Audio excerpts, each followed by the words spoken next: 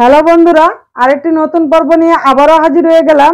আজ আমি এই জিন্সের প্যান্টটা দিয়ে আর এই কাপড়টা দিয়ে, এই দুটো জিনিস দিয়ে আপনাদেরকে সুন্দর একটি পাপস তৈরি করে দেখাবো। তো চলুন, কীভাবে পাপসটা তৈরি করছি দেখে নেওয়া যাক। সবার প্রথমে এখানে আমি একটা পেপার নিয়ে নিলাম। এই পেপারটা দিয়ে একটি ফুলের ডাইস কাটিং করে নিব। এই পেপারটাকে এরকম করে ডবল বাস দিতে হবে। তারপরে আবার আরেকটা বাস দিয়ে দিতে হবে। তারপরে এইভাবে আরেকটা বাস দিতে হবে। তারপর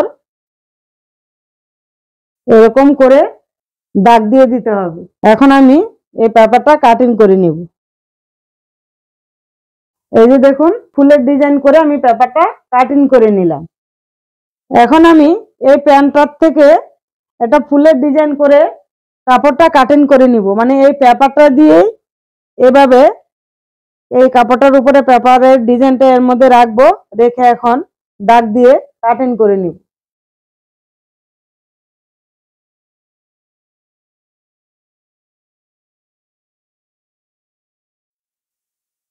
এই যে ফুলটা কাটিং করা হয়ে গেল, কাপড়টা দিয়ে।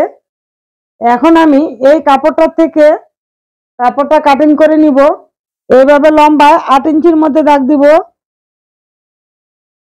আর এভাবে চওড়ায় সাড়ে ছয় ইঞ্চির মধ্যে দাগ দিয়ে দিব।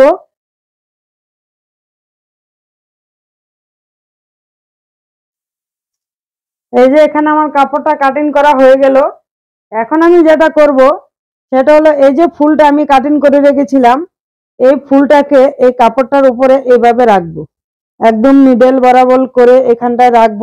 রেখে এখন এইভাবে ঘুরিয়ে ঘুরিয়ে পুরো পাপড়িগুলিকে এরকম ভাবে ঘুরিয়ে ঘুরিয়ে সেলাই দিয়ে নিচের কাপড়টার সাথে আটকিয়ে নিব। এই যে এখানে আমার এক পিস ডিজাইন এখানে রেডি করা হয়ে গেল। এই যে দেখুন যে এক পিস পুরো রেডি করা হয়ে গেল। আর এরকম ভাবে এক সেম নিয়মে আরও পাঁচ পিস রেডি করে নেব। এই যে এখানে আমার ছয় পিস ডিজাইন রেডি করা হয়ে গেল। এখন যেটা করতে হবে, সেটা হলো এই, এইভাবে একটার সাথে একটাকে জুড়ে দিতে হবে। প্রথমে আমি এই কাপড়টাকে এরকমভাবে সোজা রাখব, এই ডিজাইনটাকে। তারপরে কাপড়টাকে আমি এরকমভাবে উল্টো করে রাখব, রেখে একটা সেলাই দিয়ে আটকিয়ে দিব। তারপরে এরকমভাবে সোজা করে দিব।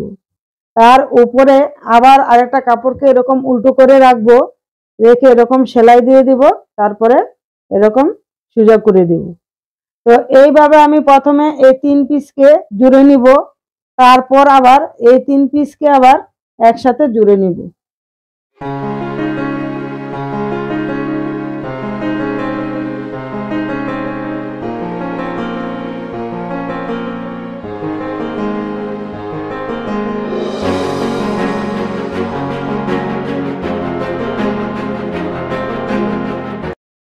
এই যে এখানে আমার তিনটে কাপড়কে মানে তিনটে ডিজাইন একসাথে জোড়া দিয়ে আমি কিন্তু আয়রন করে নিয়েছি।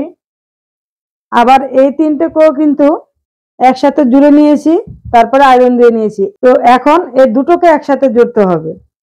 দুটোকে একসাথে জোড়ার জন্য যেটা করতে হবে, সেটা হলো এই যে আমি এখানে এরকম লম্বা লম্বা করে কিছু কাপড় কাটিং করে নিয়েছি। আর এর মাপটা কতটা আছে আমি সেটা বলে দিচ্ছি। লম্বার মাপটা আমার অনেকটাই লাগবে।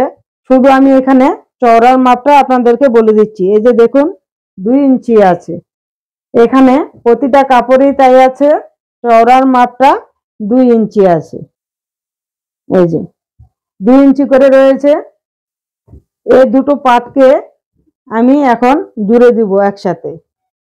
এরকম করে আমি রাখব প্রথমে। রেখে এই একটা কাপড় মানে এই একটা পাইপিং প্রথমে নিব। নিয়ে এরকম ভাবে পাইপিংটাকে সেলাই দিয়ে দিব।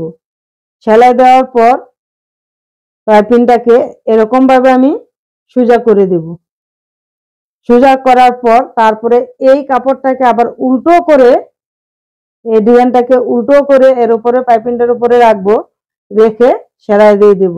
তারপরে এরকম ভাবে সোজা করে দেব। আর যখনই আমি সেলাইটা দিব, তখন কিন্তু আমার খেয়াল রাখতে হবে এই জয়েন্ট আর এই জয়েন্ট যেন একদম সমান বরাবর থাকে। এই জয়েন্ট এই দুটো জয়েন্ট যেন সমান সমান করে থাকে, সেইভাবে খেয়াল রেখে তারপরে কিন্তু জয়েন্টটা দিতে হবে। না কিন্তু দেখতে খারাপ লাগবে।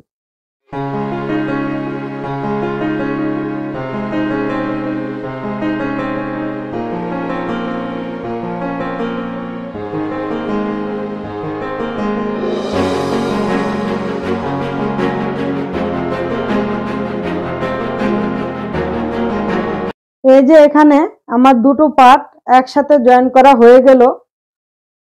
এখন যেটা করতে হবে, সেটা হলো এই কাপড়টা কিন্তু সিঙ্গেল কাপড়ের উপরে আছে এখন। এই যে দেখুন সিঙ্গেল কাপড়। তো এটা যেহেতু পাপোস হবে তো এটাকে একটু মোটা করতে হবে। এর নিচে আরও তিন চার পিস কাপড় দিয়ে তারপরেই এই পাপোসটাকে মোটা করে নিতে হবে। এই যে এখানে আমি তিন চার পিস কাপড় একসাথে নিয়ে নিয়েছি। এই যে দেখুন নিয়ে তারপরে সেলাই দিয়ে আটকে নিয়েছি। এখন আমি এর উপরে এই ডিজাইনটা যে তৈরি করে রেখেছি, এটাকে এই এই কাপড়টার উপরে, নিচের কাপড়টার উপরে এটাকে এইভাবে রাখব। রেখে চারপাশে সেলাই দিয়ে আটকিয়ে দিব।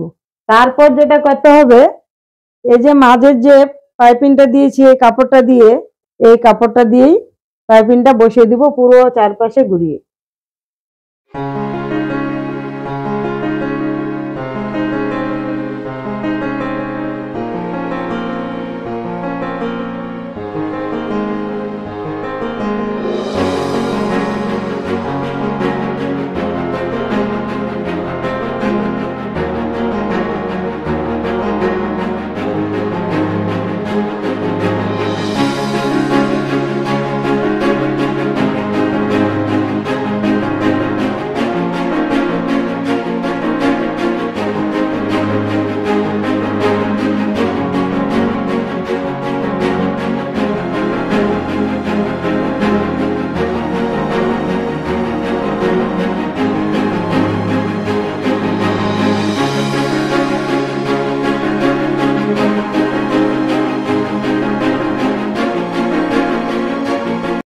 এই যে বন্ধুরা, এখানে কিন্তু আমার পাপোশটা পুরো রেডি করা হয়ে গেল।